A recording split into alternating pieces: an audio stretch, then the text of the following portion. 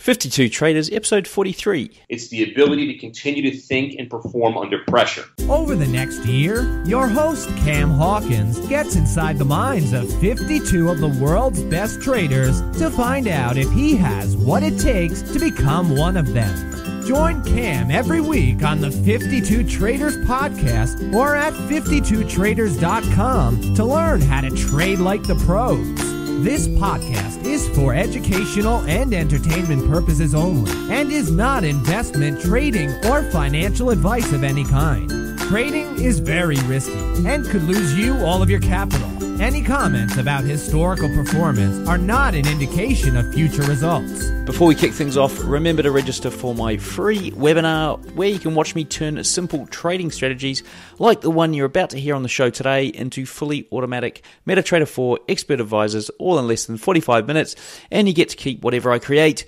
You can register today at 52traders.com forward slash webinar or automatemytrading.com.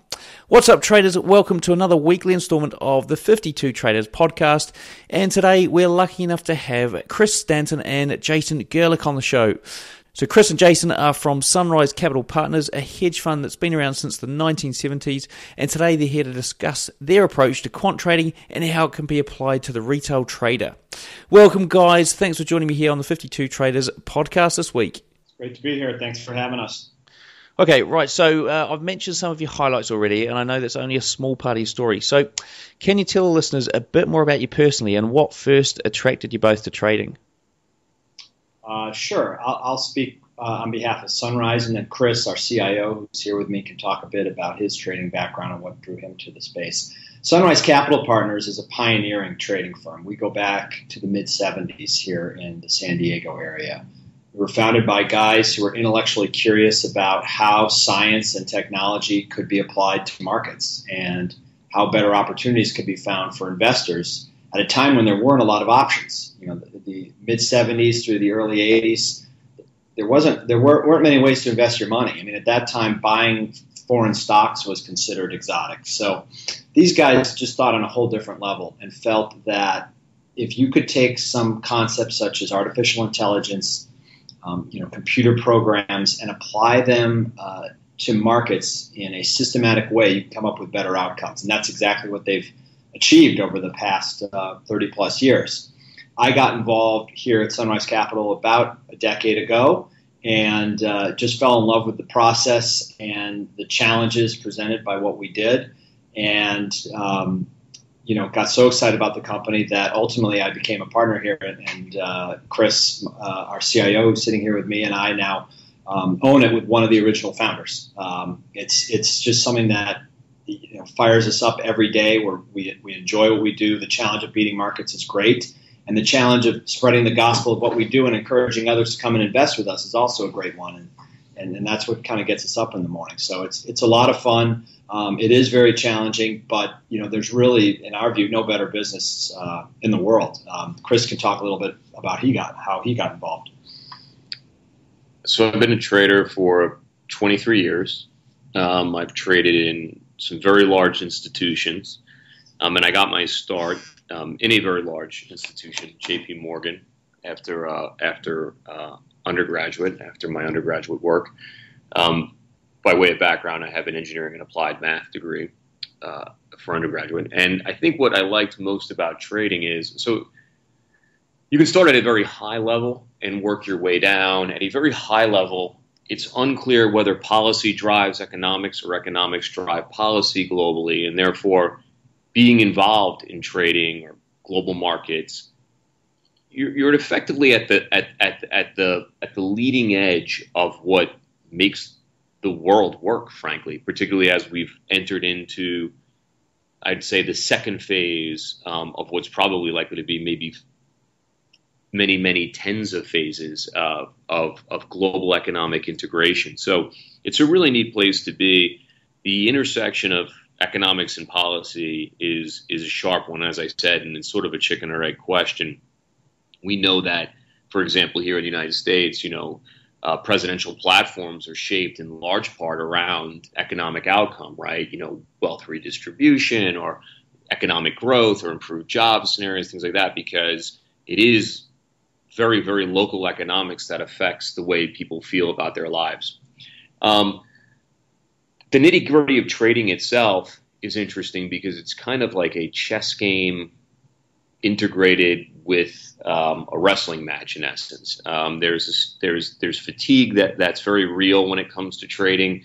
Um, often that can evidence itself by being early to a trade, um, for example. But the idea is that you can untangle this problem. You can disaggregate the bigger the bigger picture, whether it's analyzing individual equity, it, it really doesn't matter because it's always going to you're always going to start from a more holistic view, a top down approach. In essence, viewing whether you think, in the example of an equity, whether you think the, the larger global indices are in a you know a bull or bear market, and, and which sectors are likely to perform, and whether you're going long or short, you know, sort of selecting um, the right targets within that, or you're taking a more of a global macro approach and trading futures markets and speculating on currencies and interest rates and equity markets and things of that nature. So, um, in there, it's ultimately your view that needs to be disaggregated and distilled down to a, a trade which will net out against somebody else. So there's a competitive aspect to it, which I think is intriguing as well. Okay, so you mentioned uh, applied maths, and uh, would you consider yourself a quant? I would absolutely consider myself a quant. And it's interesting because, okay, so we are a quantitative hedge fund. I'll, I'll take a quick time out here and, and, make sure that your listeners understand that. And, and, and when you think about the complexity of trading, the complexity of strategies, and if you were to scale them from one to 10, we are a 10 we are the most complex of trading strategies, and I'll unpack what that means later. But it doesn't mean that some of the principles that the central tenets that guide that complex strategy aren't usable in, in, in an individual and more simple way. It, ours has grown complex because it is a mature set of systems that have been developed over 36 years. And what we are trying to achieve in both obtaining geographic, market, time and systematic diversification is substantial given the substantial amount of assets we're investing. So that complexity is is is we believe uh, to some extent necessary. Um, I am a quant at my base, and I do believe that everybody is a secret quant because even if you're a discretionary trader, which is certainly the way I started my career, you will eventually revert to a set of basic rules right? You're going to come up with a an, an, alchemy that works for you that enables you to make money, or you won't keep doing it. Um, and those that recipe, that rule book that one constructs over their career across their experience of trading can be distilled and programmed into a computer and then used with with increasing discipline.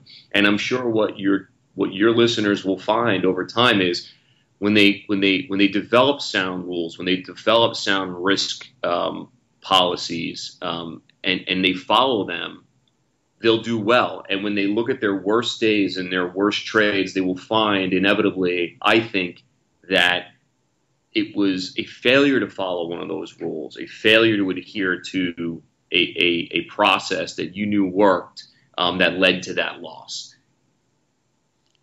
I suppose it's a, it's a case of, I mean, at the end of the day, even if you're discretionary, I mean, the, the calculations that are going on are probably just too complex to actually build into anything that could uh, could place trade, trades automatically. So, so yeah, in essence, you're right. Everything is distilled can be distilled back to something that is quantitative in nature. Okay, so that was the first part of the show. Now, to hear the full episode, the best bits Join the family at 52traders.com. They usually go for about 45 minutes to an hour long. And trust me, these shows are great. They give us so much insight. Now, if you want to get there quickly, all you need to do is jump into the show description on your phone, and there's a link taking you directly to 52traders.com where you can join the family over there and listen to the full episode. Now, in the rest of the show, I cover off what my traders do differently from the rest of us. So, what, the, what is it that they're doing that we're not doing? What their typical trading day looks like, what they would do if they had a day job now and wanted to trade for a living, their preferred trading strategy. So, actually, how does it work? What we should be educating ourselves on when we're looking at a price chart. So, what indicators we should use, what price levels, what chart patterns, all those sorts of things Also, we touch on fundamentals as well. So, how do we use news to our advantage? Trading psychology, tips, tricks, techniques, we go through those. Exiting trades, managing trades that you've got running. So, we talk about their strategies. They give you strategies for exiting and managing trades, books to read, websites to visit, all the best ones. Something that you should try and master over the next month, the broker and platform they use, and finally, last but not least, they give us a full trading strategy. So, something you guys can try out at home on your PC this week in the markets if you wish. Now, to get the full episode, you need to jump onto 52traders.com, join the family. As I said, it usually goes on for 45 minutes to an hour, and there's a link in the show description. So if you're on your phone, just jump on there, tap the link, and it'll take you straight to 52traders.com. Now, if you're thinking about learning to automate any of your trading, hiring a developer, learning to code, that sort of thing, then before you do that, jump onto my other website, automatemytrading.com. So if you're interested in automating some or all of your trading, then jump onto automatemytrading.com and you'll see me over there. For now, to hear the rest of this episode, all you need to do is click on the link in the show description or go to 52traders.com. See you there.